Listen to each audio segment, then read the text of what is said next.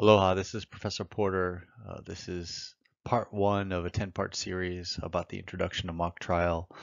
Uh, this uh, first part is dedicated to the mock trial basics. This is an attempt to get off the ground, get everyone on the same path, uh, talk about the same foundational uh, tenets as it relates to mock trial.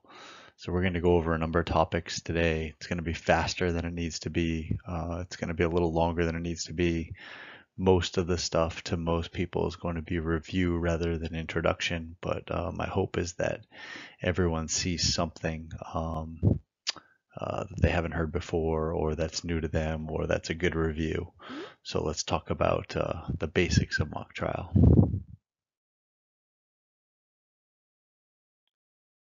As always, uh, I'm going to say to subscribe to the channel, wporterable at wporterable. Uh, you can contact me. You can follow the hashtags. You can also contact me directly by email. Uh, but I do want to hear from you to figure out uh, where this should go, where our discussion should go as it relates to the basics. Please do so.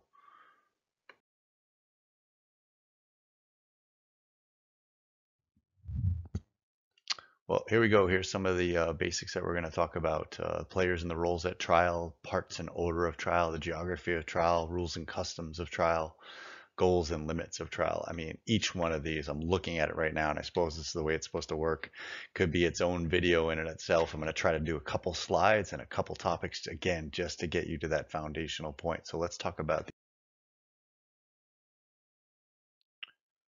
Next, we talk about the players and the roles at trial. And to think about the players first, it's two terms that are going to be very familiar to you, and it's just a matter of organizing them in a mock trial sense. In mock trial, you're thinking A versus B.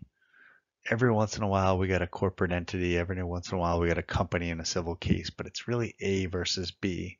It's Jones versus Smith, or it's Jones versus new company. Uh, in a civil case, it's really just A versus B, and you got to think of that A versus B as plaintiff versus defendant. Those are the players, and those are how you're organized as teams in mock trial. There's a plaintiff's counsel team and witnesses, and there's a defense counsel team and their witnesses. Uh, that's how it breaks down. That's how your roles are defined. Uh, in a criminal case, it, it, it's even more simple because the plaintiff is always the same. The plaintiff is always the government. The plaintiff is always the prosecution. So it's the state versus Smith, the United States versus Jones. And almost always in a criminal context, we're talking about an individual as the criminal defendant. So again, you have a prosecution team, you have a government team of lawyers and their witnesses for mock trial. You have the criminal defendant's defense team uh, and his witnesses on the defense side. Uh, that's how we should think about the players going forward. And here you see it, plaintiffs, defendants. Party who initiated the case, civil complaint, criminal charges, those will often be included in your mock trial packet. You'll see a copy of the charges, whether it's an information or indictment or a complaint. Um, and in a civil case, there'll be a lawsuit. There'll be the actual document filed to initiate the lawsuit. And a key thing to remember, it's not going to make a lot of sense at this point, but a key thing to remember is the plaintiffs at least start with, and for the most part, maintain the burden of proof. They're the ones that started the lawsuit. They're the ones that started the criminal case if it's the government or the prosecution. So they have the burden of proof. They're the ones that have to bring it home. They're the ones that have to demonstrate before the jury that there's competent and admissible evidence that reaches a certain level, uh, satisfies their burden of proof so that um, not only that the jury gets the case, but that the jury can make a finding in the case in their favor and give them the relief that they seek. Uh, the defendants, uh, they're uh, they're the ones defending against those allegations. So again, Harry sues Sally. Harry's the one that brought the case. Harry's the one that filed the complaint. Sally and her team of attorneys, they're the ones that are defending against these allegations. They're the ones saying, no, that's not the way it went down. That's not actually what happened. Uh, and oftentimes they have a different story to tell. Of course, if it's a criminal case, criminal defendant, it's it really comes down to um, I, am not the one that did it, or you have it wrong, or I have a defense, or you just maybe have the wrong person here. Uh, but there's some reason that by that burden of proof that applies in a criminal case, they're saying the government has it wrong. That's why we're going to trial. Uh, and the way to think about this for these players and roles is in real life, civil cases are resolved by settlement all the time. Criminal cases are resolved by plea agreements and plea bargaining all the time. huge numbers, 90 some odd percent in different courts. So when it goes to trial, there's often a legitimate dispute. There's something that they can't agree upon. Lots of recent cases go to trial, but mock trial sort of uh, demonstrates why that happens. Uh, cases go to trial because there's some good facts on either side and some stuff for the attorneys to work with. And every mock trial fact pattern has some good stuff on each side and some stuff to work with for the attorneys, or it wouldn't be a mock trial fact pattern. Here's some uh, in-depth discussion about some of the roles at trial. And really what I'm trying to do is separate out. This could be its own video. This could be a longer discussion. I'm going to devote about a minute to them in this basics video. And I hope to hear from you in the comments or an email.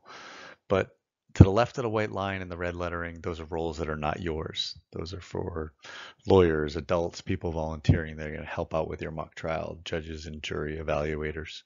Uh, and your roles are part of these teams that we just discussed. Uh, the plaintiff's counsel team, the attorneys representing the civil plaintiff or the prosecution of the government in a criminal case. The defense team, the one representing the civil defense team uh, and their witnesses and or the uh, in a criminal case the criminal defendant likely an individual uh, part of those teams are always going to be witnesses. Witnesses, as we'll discuss in later videos, come in two varieties. They're lay or percipient witnesses, folks that saw what went on. They have personal knowledge of what went on in the case. They're being called to testify under oath at this trial because they know something, they saw something that can purportedly contribute to one side or another's case. If the plaintiff calls them, if the government calls them, uh, then hopefully they have personal knowledge about something that advances the ball on their side and the same stands true if they're called by the defense team.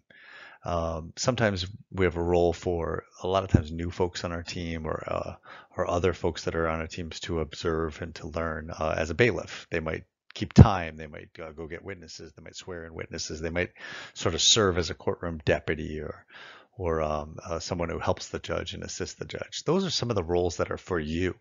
Uh, on the left side, it, you know, there's a judge. Hopefully, that's an attorney. Hopefully, that's someone that's volunteering that's just going to say overrule or sustain when there are objections, hear motions.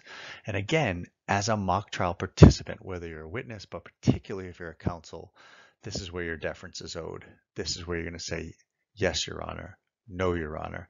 Your Honor, may I approach? Your Honor, may I enter the well? Your Honor, uh, may I take a moment to confer with co-counsel? This is where you're talking through, as we're going to talk about.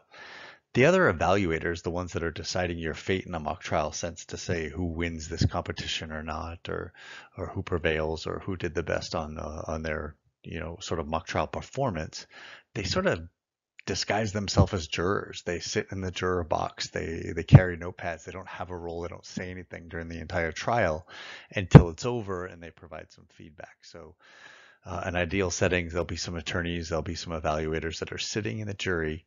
You're talking to them when you're doing your jury addresses, and you're presenting to them when you're uh, doing your witness examinations. So those are the basic roles uh, of the trial.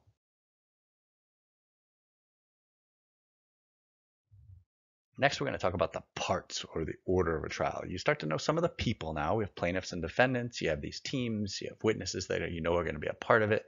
You have the roles that are not for you, like the judge and the jury, the other evaluators. Now, what are the parts in the order of trial?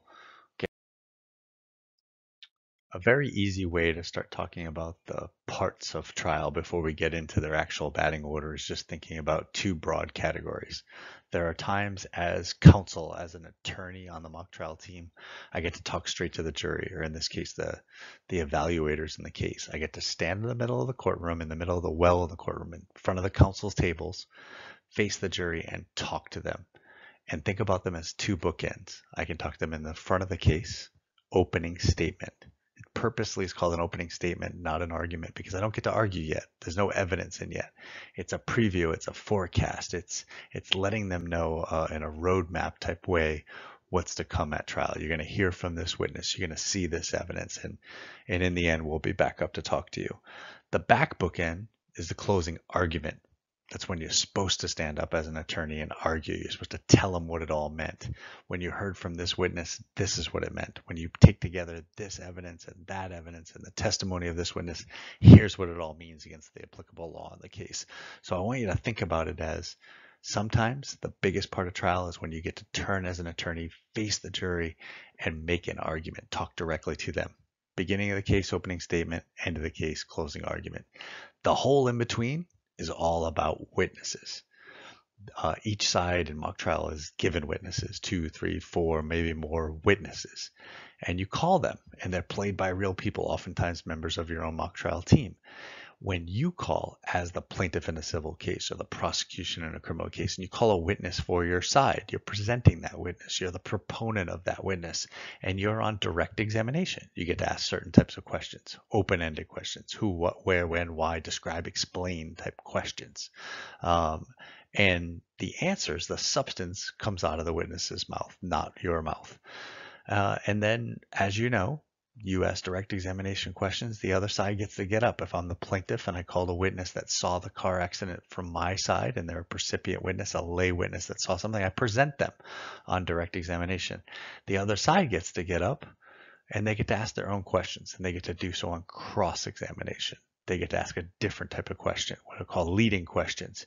Questions that start out with the word you.